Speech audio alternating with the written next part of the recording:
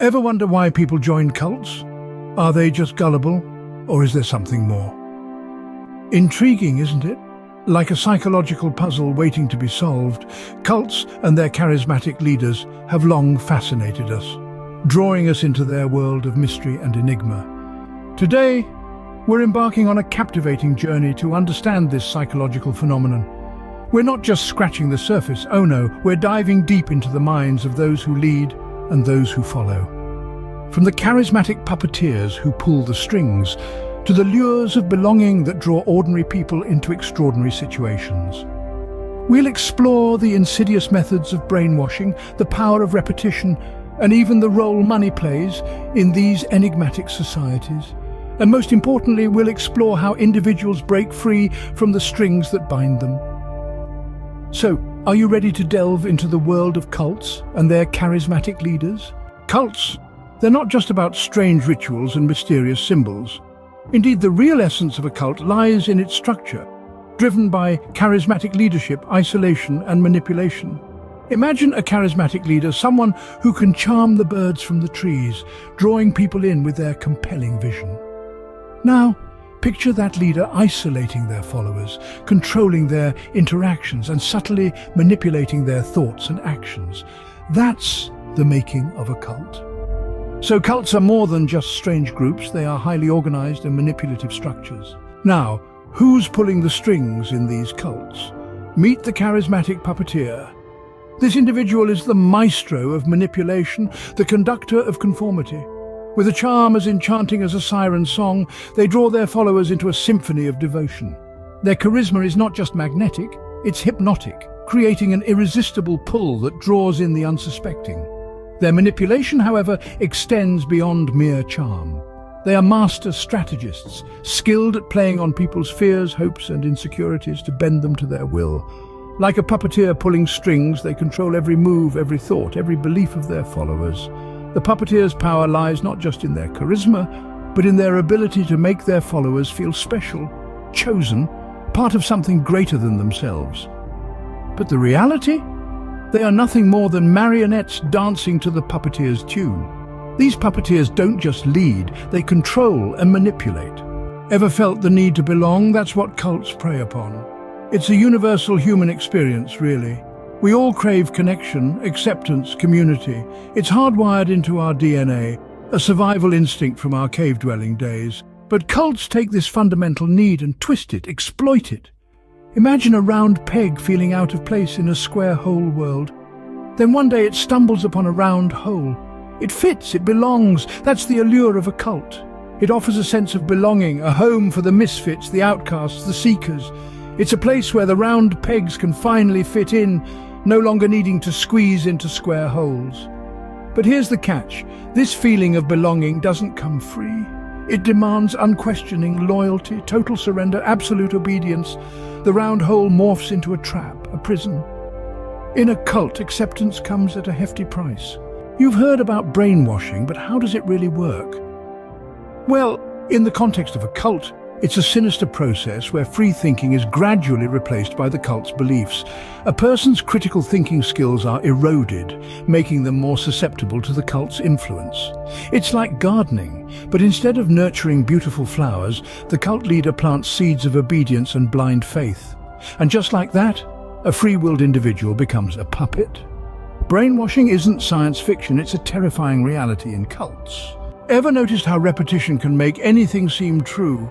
In the world of cults, repetition is not just a method, but a master tool for manipulation.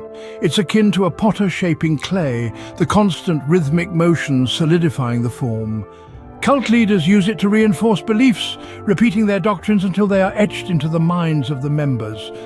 Like a catchy jingle that sticks in your head, these repeated messages shape thoughts, control actions and ultimately bind people. In a cult, repetition is a powerful tool for control. What's the one thing cults always seem to need more of? You guessed it, money. Now you might be thinking, well, doesn't everyone need more money? And you'd be right. But here's the thing, in cults, money takes on a whole new meaning. It's not just about survival or luxury, it's about control. See, cult leaders often use money as a tool of manipulation. members are often required to give a significant portion of their income to the group. This financial commitment serves two purposes. First, it helps to fund the cult's activities. Second, and perhaps more importantly, it makes members financially dependent on the group. And it's not just about cash, it's about assets, properties, businesses. In some cases, members are even required to sign over their entire estates. Imagine that, giving up everything you've worked for, only to find yourself completely dependent on the group. In a cult, your money isn't your own. So how does one break free from a cult? It's a formidable task indeed. The process involves breaking down mental barriers, questioning deeply ingrained beliefs, and seeking help from the outside world. It's like a puppet cutting its own strings, a daunting yet liberating act. The road can be rocky, strewn with doubts and fears. But remember, each step forward, however small, is a victory. It takes courage, resilience and a lot of self-love. Breaking free isn't easy, but it's the first step towards reclaiming your life. Ever heard of a cult of personality? Let's talk about that. Imagine a world where a leader isn't just respected or admired, they're worshipped, seen as infallible. Every word they utter becomes gospel, every action a divine directive. This is the essence of a cult of personality, where leaders tap into the human desire for a deity, exploiting it to cement their power. In a cult of personality, the leader isn't just a leader, they're a god. Cults and pyramid schemes, more similar than you think. Both are built on a hierarchical structure, with the leader or founder at the peak. Just like a cult leader, the originator of a pyramid scheme recruits followers who then recruit more followers, creating a pyramid of people all feeding money or power upwards. The promise of exponential growth lures people in, but the reality is only those at the very top truly prosper. In both cults and pyramid schemes, those at the top benefit the most. Love bombing, it's not as pleasant as it sounds. Imagine a friend who showers you with compliments, attention and affection like a relentless rain of roses. But these roses have thorns, hidden intentions. This is love bombing, a manipulation tactic often used in cults. It's an emotional onslaught designed to disarm your defenses, making you susceptible to further manipulation. It's a counterfeit currency, an illusion of genuine affection. Remember, in the convoluted world of a cult, even love is a weapon. What's a cult without a few secrets? Now, let's dive deep into the rabbit hole of secrecy. In cults, information isn't just power. It's a meticulous web of control. Leaders shroud their doctrines in layers of mystery, creating a tantalizing allure for the uninitiated. But here's the twist. These secrets aren't really about sacred truths or divine revelations. They're tools, masterfully wielded to manipulate members, to isolate them from the outside world. Remember, in a cult, knowledge isn't power, it's a threat. Enjoying this deep dive into cults? It's a fascinating world out there, isn't it? If you want to continue exploring with us, make sure to subscribe and give this video a thumbs up. Don't forget to hit those buttons and stay tuned for more. So, what happens after you leave a cult? Well, it's not as simple as walking out the door and getting on with your life. The aftermath of leaving a cult is often a complex and challenging journey. The psychological scars run deep and the road to recovery is long and winding. Imagine spending years, even decades, under the influence of a charismatic puppeteer. Your beliefs, your actions, your very identity, all manipulated and controlled. Now you're on your own trying to piece together your shattered self. The social challenges can be just as daunting.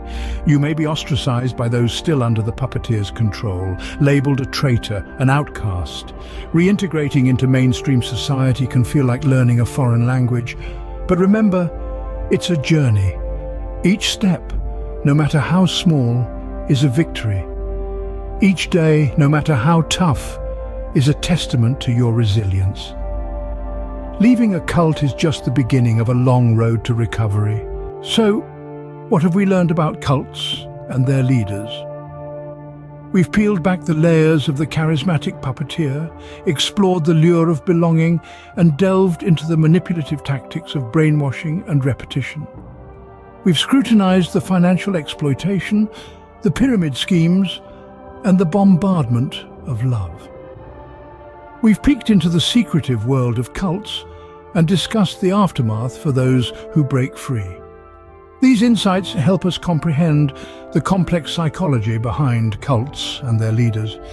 Remember, understanding is the first step to prevention. That's all for today's exploration of cults and their puppeteers.